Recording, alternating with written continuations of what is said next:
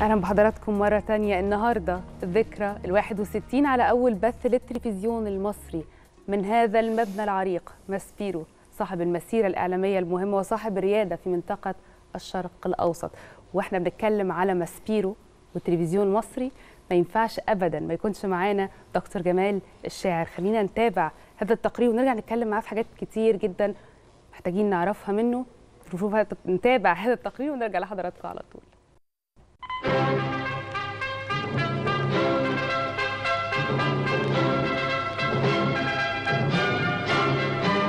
واحد وستون عاماً على صرح إعلامي عملاق صاحب ريادة إعلامية بالوطن العربي التلفزيون المصري أحد أقدم التلفزيونات في الشرق الأوسط. 20 من يوليو عام 1960 كانت مصر على موعد مع بدء البث الأول لإرسال التلفزيون ضمن إنجازات ثورة الثالث والعشرين من يوليو.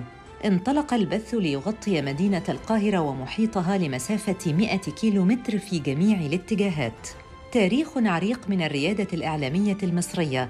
وضع لبنتها الأساسية الأولى في خمسينيات القرن الماضي الدكتور محمد عبد القادر حاتم وزير الإعلام ونائب رئيس الوزراء آنذاك بتأسيس أول وكالة للأنباء في مصر هي وكالة أنباء الشرق الأوسط. وأول محطة تلفزيونية بإقامة مبنى مسبيرو المستدير في ستينيات القرن الماضي. خرج هذا الهرم الكبير للنور ونجح البث التجريبي للبرامج وتقدم عدد كبير من الفنانين بطلبات للظهور على شاشة التلفزيون المصري. انطلق البث التلفزيوني بظهور الزعيم جمال عبد الناصر وبدأ الإرسال بتلاوة آيات من القرآن الكريم ثم إذاعة وقائع حفل افتتاح مجلس الأمة وخطاب الرئيس جمال عبد الناصر ونشيد وطني الأكبر.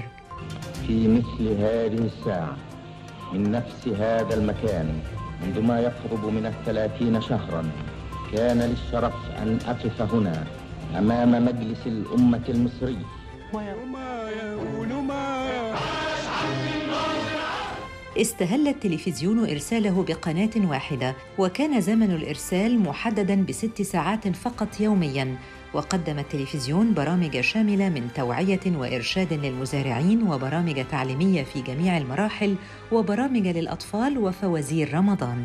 امتدت مسيرة التلفزيون المصري عبر 61 عاماً لتزيد مع تاريخه إشارات البث والقنوات الإقليمية والفضائية ويصبح التلفزيون المصري الصرح الإعلامي الأكثر عراقة في الشرق الأوسط.